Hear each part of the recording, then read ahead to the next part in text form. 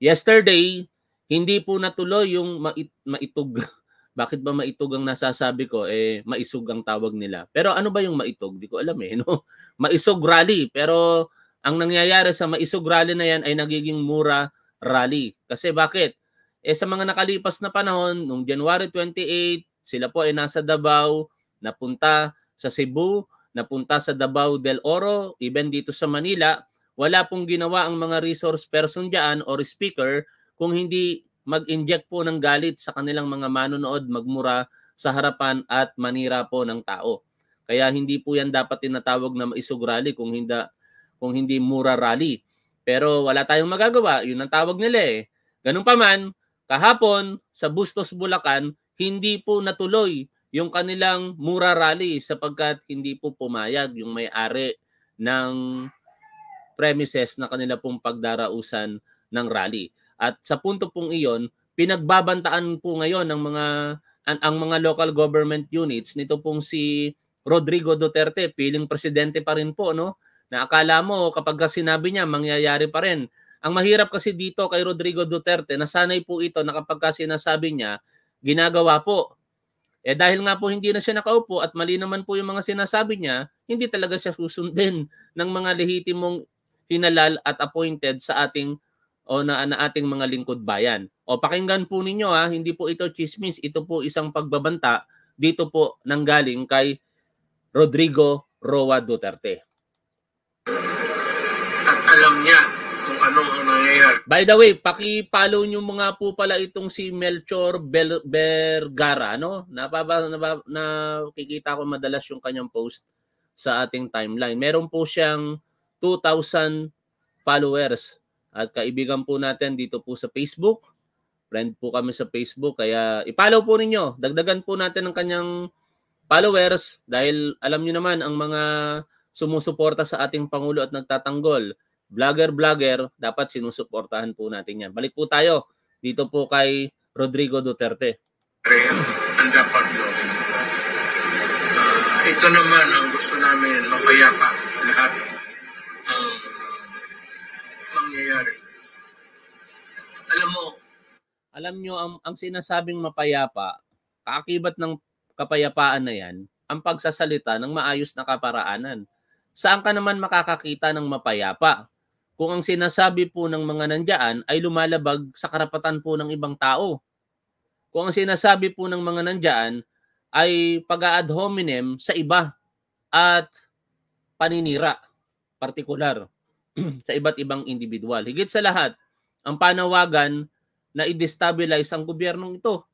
Kapayapaan ba yun matatawag, Rodrigo Duterte? Kaya wag nyo na kaming linlangin pa. Hindi kapayapaan o mapayapang pamamahayag ang ginagawa po ninyo.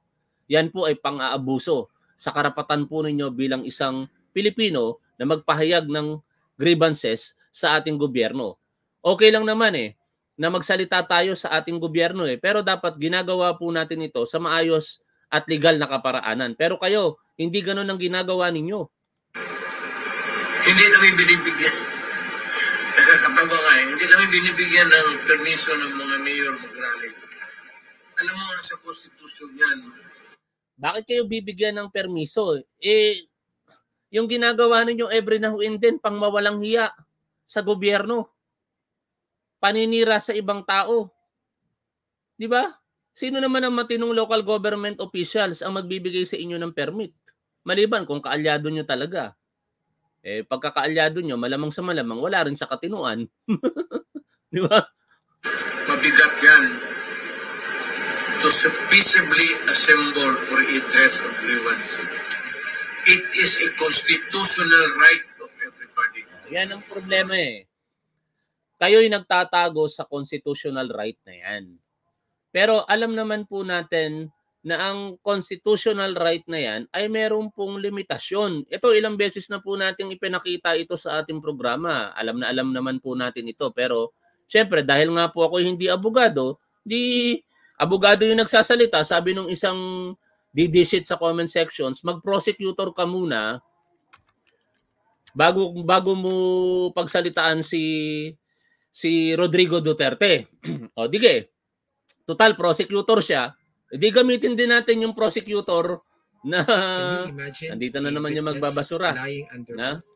Oh, gamitin natin yung isa ring prosecutor para turuan itong si Rodrigo Duterte. Oh, pakinggan niyo po ito mga tol ha. Ito po ah. Under Article 1 meron pong limitasyon ang tinatawag na freedom of speech. Hindi po pwedeng porket ah, tayo ay Pilipino at ginagarantiya ng ating konstitusyon ang kalayaan sa pamamahayag, eh basta-basta na lamang po natin ito gagamitin at i-disregard po natin ang mga umiiral na batas. Hindi po ganon. Dapat alam mo po ang limitasyon ng tinatawag mong freedom of speech or expression. At dahil hindi ako abogado, lalong-lalo na hindi naman ako prosecutor, eh di itong si Rodrigo Duterte, paturuan natin sa isang prosecutor. Gamitin natin ang video nitong si Fiscal E EJ. isyong ito. Ang freedom of speech po ay isang basic fundamental human right na ginagarantiya ng ating 1987 Constitution. Dahil tayo po ay isang demokrasya, bawat tao po ay may karapatan na mag-express ng kanyang opinion na wala siyang dapat ipangamba na siya ay pagbawalan o parusahan. Malawak po ang sakop ng freedom of speech. Freedom of speech can be verbal, pwede ring written. Kalakip din po ng freedom of speech ang malayang pamamahayag, karapatan sa mapayapang pagtitipon at karapatan sa pagprotesta. Pero hindi po ibig sabihin na dahil may freedom of speech na tayo, ay pwede na natin sabihin ang gusto nating sabihin Nadidinig mo yan, Rodrigo Duterte? O hindi criminologist ang nagsasabi doon sa basher, kung hindi isang prosecutor din. At ito, talagang well-experienced prosecutor ito. Ewan ko si Duterte. baka kine-claim niya lamang yon Pero baka wala namang naipanalong kaso. Tuloy natin ang pakikinig dito sa lecture ni Fiscal EJ. o pwede na natin gawin ang gusto nating gawin.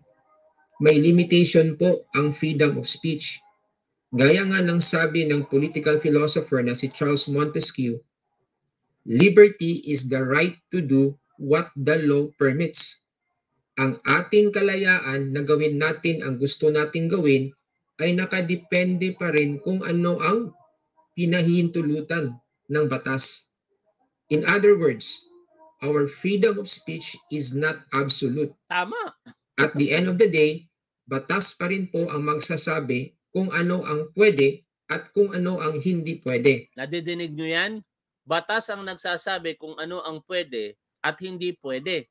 Pwede kayong magpahayag ng inyong mga saloobin, pero hindi kayo dapat nananawagan ng destabilisasyon sa gobyernong ito. Yun lang yun eh. Napakasimple lamang. Hindi ko mawari bakit tinuturuan pa tayo nitong si Rodrigo Duterte na akala mo monopolyo niya ang kaalaman at kung ano lang yung sasabihin niya, yun dapat ang mangyari. Come to think of it, can you imagine kung walang limitation ang ating kalayaan na magsalita? Na we can just say what we want to say and how we want to say it? Magkakagulo po, sigurado. This is the reason why there are limitations on freedom of speech. And what are the limitations to this right? These limitations po are in the form of laws which were enacted in order to have a functioning and orderly society. Now, let us attempt to enumerate these limitations. First limitation, our freedom of speech can be limited for the purpose of maintaining public order. Oh. Pag walang permit, wala naman kayo sa Freedom Park, hindi kayo pe pwedeng mag-rally. Kasi makakasira yan sa public order. Ang limitations, napapanatili dapat ang kaayusan at katiwasayan sa ating lipunan. Eh wala kayong permit eh. Nasa pribadong lugar kayo, pinaalis kayo doon. Bakit kayo ngayon magmumukmok? For example, pag may halong karahasan na ang ating pagprotesta laban sa gobyerno, pwede tayong makasuhan ng sedition under Article 139.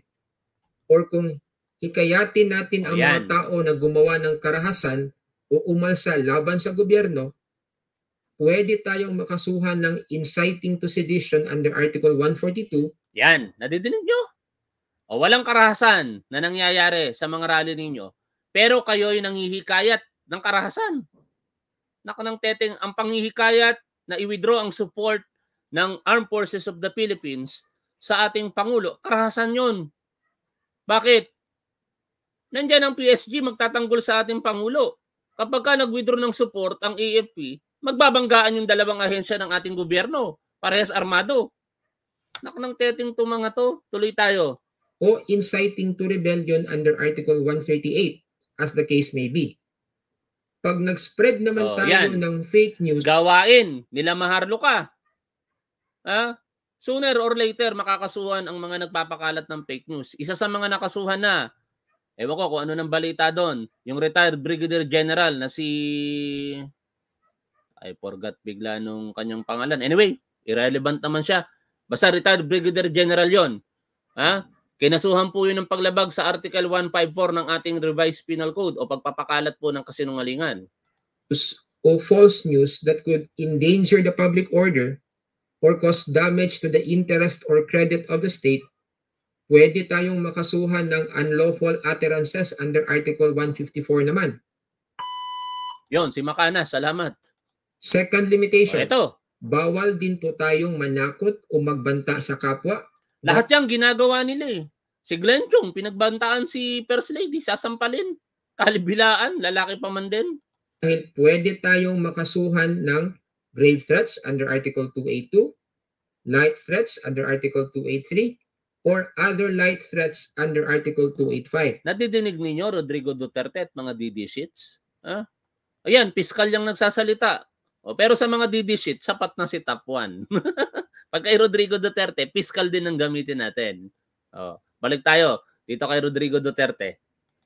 and you just cannot violate it. Kasi magkakaroon ka ng kaso niyan. Oh. At ah, ang hatol niyan is dismissal from the service. Kaya mga mayor, Nako, kung, pa, kung panahon na nitong si Rodrigo Duterte sinabi niya yan, automatic yan. Yung payo niya mako-convert sa polisiya. 'Di ba? Naalala ninyo? Kapag ka lumaban, kill them. Nangyari, palagi nalalaban yung mga suspect. O ito, kung panahon niya to sigurado maraming makakasuhang mayor. kasi bakit? Hindi na i-issuehan ng permit eh kasi wala namang wala namang basihan para sila issuehan ng permit. No? Unang-una, yung sa pinakahuling pangyayari, pribadong pag-aari yon At nag-decide ang nagmamayari nito na wag ituloy yung kinontrata ng kanilang pinagkakatiwalaan doon na tao. Kaya nga sabi ng abogado doon sa video eh, idemanda ninyo for breach of contract. Di ba? Ayaw ng may-ari, idemanda nyo yan. ang nagpapademanda pa mismo yung abogado ng may-ari doon sa kanyang tauhan. Kasi yun ang tinupunto ng mga DD ngayon eh. Meron daw pong kontrata. Kaya yun daw po ay paglabag sa kanilang karapatan. Eh, demanda nila yung tao. Bakit nila isisisi sa local government units? Bakit nila isisisi sa ating mga kapulisan? baka hindi niyo alam yan. Mabigat na parusa yan. Sa konstitusyon yan eh. Kaya magdadalawang isip kayo. Lahat ng tao. Eh ako, dumaang presidente. Tapos ka na. Hindi ko ginawa yan sa buhay. We! Nung mayor ako, Look who's talking. Ano? Walang magrarally sa'yo. Kasi takot ang nararamdaman nila. Pero yung mga matatapang na tao during that time, wala, ipinakulong mo eh. Si Leila de Lima.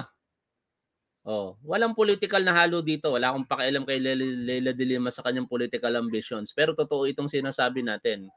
Staunch critic nitong si Rodrigo Duterte, si Leila de Lima. Pinakulong, may sa anim na taon. Si Antonio Trillanes, binawian ng amnestiya, kinalaunan dineklara ng konstitusyon, dineklara ng Supreme Court na unconstitutional ang proklamasyon na ginawa ni Rodrigo Duterte on the basis of four grounds. Ano-ano ang mga yon? Ulitin lang natin para sa kaalaman ng mga manonood po natin. Sabi ng Korte Suprema, nilabag nitong si Rodrigo Duterte ang karapatan ni ni Antonio Trillanes to equal protection clause under the Constitution, the right to his the his right to due process for double jeopardy at saka yung ex post facto. Hindi ko na ipapaliwanag ang mga yan. Pinaliwanag ko na yan sa mga nakaraang uh, live streaming natin. Pero yun po yung mga basis kung bakit sinasabi na ang naging proclamation nitong si Rodrigo Duterte during the time of his presidency na bawiin ang amnestia na ibinigay ng Aquino administrations kay Antonio Trillanes ay unconstitutional.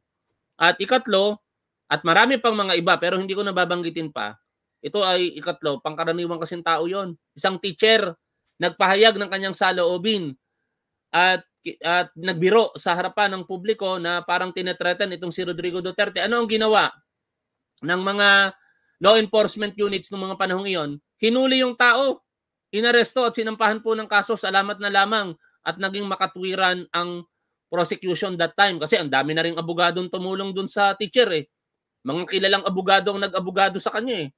Kaya wala silang magawa kung hindi itama kung ano yung naaayon sa batas. Dinismiss ang kaso laban doon sa teacher. At napakarami pang pagkakataon na talagang kapag ka ikaw ay nagkikriticize dito kay Rodrigo Duterte, malalagay ka sa alanganin. Oh. Kaya walang mga rally-rally na mga katulad ng ginagawa nyo ngayon. Kasi nung mga panahon na yon, antimano, pine-prevent ninyo. Kaya wag nyong palalabasin na sinusuppress ang kalayaan sa pamamahayag sa panahon ngayon, samantala kayo ang may gawa noon yan. Ngayon, malayo kayong nakakapag-criticize kay Pangulong Bongbong Marcos, hindi nga kayo pinapansin eh. Tapos sasabihin pa ninyo, pinipigilan ng inyong karapatan, ginigipit kayo. Katulad nitong sinasabi nitong si Vic Rodriguez, puntahan natin ha.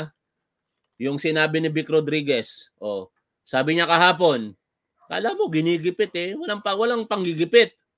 Oh, sabi niya dito, Alinsunod sa naging pasya ni parang pang, hindi pa yata makamove on ito si Rodriguez eh. Ah, Pangulo pa rin daw sa kanya si Rodrigo Roa Duterte ah. Ni Pangulong Rodrigo Roa Duterte, nais kong ipabatid sa lahat ng hindi tuloy ang pagdaraos ng hakbang na maisug. Isang mapayapa at malawakang peace rally na nakadakdang ganapin mamayang alas 5 ng hapon sa Bustos, Bulacan. Ang naging desisyon ay upang maiwasan ang anumang gulo at sakita na maaaring idulot ng lantarang panggigipit ng pamahalaan para hindi matuloy ang ating peace rally. Saan ang panggigipit? Anak ng teteng na yan, walang panggigipit na ginagawa sa inyo. Ha? Ginagawa lamang ng ating gobyerno kung ano yung nararapat. At sa karapatan naman po ng isang pribadong individual, iginigiit niya ito. Kasi trespassing talaga ang ginawa-gawa ng mga sumusuporta sa inyo kahapon doon sa Bustos, Bulacan. Hindi ko huwag kayo maghanap ng sakit ng ulo. Hmm. Kasi pag napailan kayo ng kaso, yan na, may pagbabanta si na. Hindi tatagal dyan. Oh. Walang araw bababa yan ang kaso ninyo. Sarili ninyong oh. sakit. Dapat sinabi mo yan sa mga polis na naniwala sa iyo. Ngayon, nakakulong na sila. Ako, hindi mo ako napaniwala. Polis ako noon eh. Sinasama ako sa operation na alanganin. Bakit ako sasama? Ha? Ay eh, magturo na lamang ako. Yun ang dahilan na kung bakit ako nag-focus masyado sa review center. Magtuturo na lamang ako. Eh ano ngayon, kung ipatapon nyo ako sa ibang lugar, di mag-awol ako. Oh. Kasi alam ko na ikaw, Rodrigo Duterte, hanggang 2022 ka lang magbilang Pangulo. At kapag ka sumablay ang operasyon, hindi ka naman makakapagbigay ng pardon. In fact, sa panahon ng iyong panunungkulan, binigyan mo ba ng pardon yung mga pulis na sumunod sa iyo? 'Di ba hindi? Ngayon nakakulong sila sa bilibid. Nagse-serve ng reclusion perpetua dahil sa kasong murder. Oh, ngayon sasabihin ninyo, ginigipit kayo. Walang panggigipit dito. Ito po yung video kahapon, no? Pinost pa nga ng SMNI. O, gamitin po natin ito mula po sa For the Pairs Couple.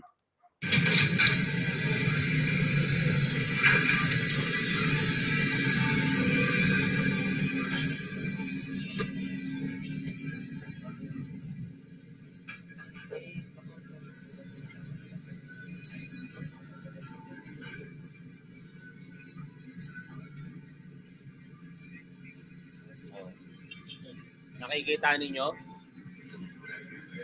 Yang nakikita po ninyo dyan, yan po yung mga bahagi ng maisug rally. At saka yung kausap nila at yung abogado ng may-ari ng lupa. Ang sabi ng may-ari ng lupa, ayaw nang ipagamit yan. May magagawa ba sila? Ngayon, kung nakipagkontrata itong tauhan ng may-ari ng lupa, idemanda nila. Pero maliwanag na sila'y trespassing dyan sa area. Ganito lang. Ano yung maayos natin yung issue? Kasi, and then, mo, Dito, tanggalan na natin ang audio. Pinapaliwanag sa kanila ng abogado ng may-ari ng lupa na hindi na gusto ng may-ari ng lupa na idaos nila dyan ang sinasabi nilang maisog rally. Ngayon, iginigiit ng kabilang party, itong kausap ng abogado, na mayroon daw kontrata. Eh binabaliwala na yung kontrata na yan. In fact, hindi naman yung may-ari ng lupa ang nakipagkontrata dyan eh. Yung tao na to, kaya nga sabi ng abogado, idemanda nyo. Ha? O, pa, iparinig ko sa inyo. Pero for the meantime, we are giving you 30 minutes to Balik natin. Pero for the meantime, ang request namin Ah, okay na pa. I, I, I cannot. Pwede kayo. Hindi, magano muna kayo sa, ay, na. Ah, mamaya na po siguro sa... Hindi, okay lang yan. Hindi, okay lang yan. Okay lang yan. Okay lang yan. Kasi ano po eh. Hindi, hindi, hindi, okay lang. Pero for the meantime, we giving you 30 minutes to. Ah, okay? Ayun po. Okay, pakipulat lang. Buti nga, binigyan pa sila ng pagkakataong mag-full out eh. 30 minutes, di ba? Eh kung talagang sasampahan po sila ng kaso dito ng may-ari ng lupa, pasok na po pasok na po lahat ang elemento ng krimen. That is qualified trespass to dwell ah I'm sorry, hindi pala dwelling ito. That is other forms of trespass. Ha? Kasi enclosed premises yan eh. Merong bakod at merong pagkakataon na merong manifestation. Anong tawag doon? Yung visible remo, visible signage na no trespassing kahit bago lang nilagay dyan yan. The moment na inilagay dyan yan, hindi na kayo pwedeng papasukin pa. 'Di ba? That will constitute other forms of trespass. Oh, pero syempre, lahat naman ng bagay naaayos sa maayos na pag-uusap eh. Oh, binigyan sila ng pagkakataon. 30 minutes, i-vacate ninyo yung yung ah, premises. Otherwise, sasampahan kayo ng kaso. Hintayin lang po natin. No, no, no, no. We, we cannot. We cannot. We cannot. You have to pull it out. Ah, pag- Yeah, kung if ever na mag-agree ulit kayo, you can do. pwede ko siya SM like interview si, si attorney para least madinig din po yung side nila. Di ba? Hindi, hindi, okay. We, we are willing anytime. Basta ang request lang natin yan, just to avoid any untoward incident. Para huwag naman kami madamay dito. Pakipull. Pakipull. So we are giving you... to the Sir, ano pong dahilan sir? Ba't ipopular po? Ayun yung nangyari. Oh. 'Di ba? Ayun Oh, abogado yung nagsasalita diyan, ha. Kahit may kontrata kayo, ayaw ng may-ari eh. Hindi naman yung may-ari nakipag-usap. Saka kung ayaw na ng may-ari at nagbago ang isip, eh ibang usapin 'yon. 'Di ba? Civil case nga sabi daw nung isang abogada na tinanggal sa PCO. Pero what is existing dito, what is present dito sa nakikita natin is violation doon sa karapatan ng may-ari to his property. Kaya that constitutes under Article 281 ng ating revised penal code. O, hindi ako abogado ha, pero lahat naman ng sinasabi ko may reference tayo. Basahin nyo na lamang. Nakalagay doon, other forms of trespass. Puntahan nga natin yun mga tol. Baka sabihin kasi ng mga nag ng mga tao na ito, nag-aabu-abogaduhan ako. Hindi ako abogado, pero alam ko po yan dahil tinuturo ko po yan. At hindi po bawal sa amin magturo ng criminal law and jurisprudence dahil criminologist po kami. Ha? Sa mga estudyante ng Bachelor of Science in Criminology. O, puntahan natin. Sabi po dito, ano ba ang kaparusahan ng other forms of trespass? Ayan o, Article 281 of the Revised Penal Code. The penalty of arresto minor or a fine not exceeding. Ngayon, tinaas na po yan, hindi na po 2,000 pesos. Kung hindi 20 5,000 to 40,000 for light offense. O ano ba yung arresto minor? Pagkakakulong po iyan ng isang araw hanggang 30 araw. Yun po. Other forms of trespass ang pinag-uusapan po dito. Ngayon, kung may issue kayo sa civil eh, sampahan nyo ng kaso for breach of contract. Ibang usapin yun kaysa dito sa criminal offense na nangyayari in the presence of the attorney na hindi ko kilala. Ha? Nang may-ari ng lupa na to. Yung napag-usapan sir, may papel na Ayun na ano itimanda niyo to. Hindi, hindi, hindi, magpatimanda kayo, hindi kasi niyo ako pag-usap. Ah, di ba? Itimanda. Ayan, idemanda nila ito. Pero kung hindi sila aalis dyan, sila ang idedemanda ng other form of trespass dyan. Kasi maliwanag na trespassing yan sa property nung pag nung nagmamay-ari. To. For breaching the contract. Tama yan. Pasok ka ng pasok sa kontrata, hindi mo alam. So we are now going to the uh, police station. And if you will not pull up, then okay, that's your own risk. Okay? Ikaw, Michael, kasi pasok ang pasok sa kontrata. Pero sir, sino naglagay ng tarpaulin dyan sir, Ako, sa labas? ako, Atty. Jose Cruz. Ayun, si Attorney Jose Cruz. Kasi alam nyo mga tol, para magkaroon ng complete element sa paglabag sa other forms of trespass, dapat merong manifestation ng no trespassing. Kasi kung wala yon kahit kahit yan ay naka-enclose, ang presumption kasi doon, hindi mo pinagbabawalan ng sino man na makapasok doon. Kaya dapat kung bakod lamang yan, lagyan mo yan ng no trespassing signage. Para pagka may pumasok, pwede mong ipahuli for trespassing. At nilagay ngayon yun ng abogado. At walang masama doon. Kahit sa oras na mismo na yan, inilagay ng abogado na yan, hindi yon late. The moment na ilagay doon yon, that will be the time na yung yung ah, property na yon ay talagang ipinapaalam ng may-ari na hindi dapat pinapasukan ng sino man nang wala pong pahintulot mula sa kanya.